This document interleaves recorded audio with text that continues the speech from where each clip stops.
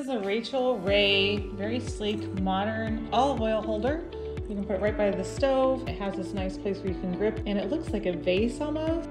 It has this little stopper so that you can open it or close it. It's made of ceramics. It's pretty gray color, but it does come in other colors too. I just want to show you how it comes out. So easy. It looks so pretty and it's easy to control.